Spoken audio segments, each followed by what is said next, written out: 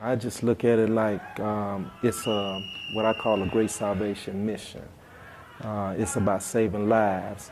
And if one youth come in and say that, hey, this is like a safe haven or a sanctuary or, or this is something that saved my life, you know, then that's rewarding for me. It's, it's designed for, for I, I think it's a three-pronged attack. First of all, it's a safe haven for kids uh, to get them off the streets.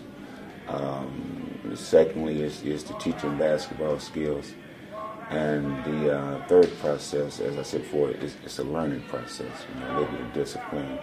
Um, and things that, that, that you can use in everyday life. Hoops in the Hood is a uh, sports uh, program um, that we have here Teamwork Englewood uh, that's held at the Salvation Army. Uh, it's a program with, uh, I'm going to say, 80 uh, youth. We're going to have eight teams. Try to teach them uh, fundamentals because uh, a lot of kids in, in, in, the neighborhood, especially in the inner cities, we uh, you throw us a basketball, we just go and play. You know, it's going to be a lot of uh, drills, a lot of practices, um, you know, working out. It won't just be like them out there bouncing the ball, but they're going to learn a lot.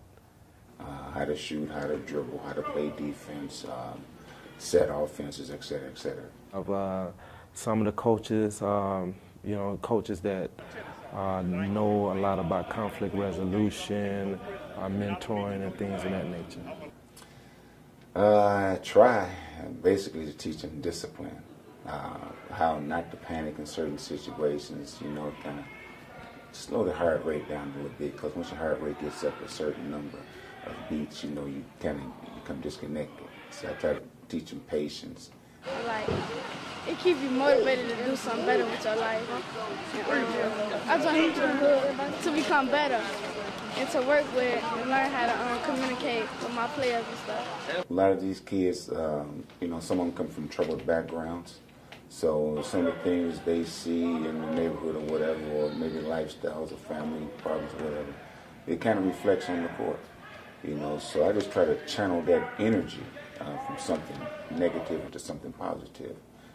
I could, I can, I can do this in college, then I can get a good, a good thing in life.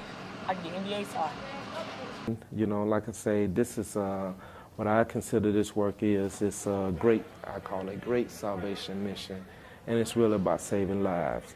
You know, everything that we do to engage the youth is, is about, you know, um, having them understand that life is very valuable, it's important, uh, and to cherish that. Respect your brother man, respect your community, respect your elders,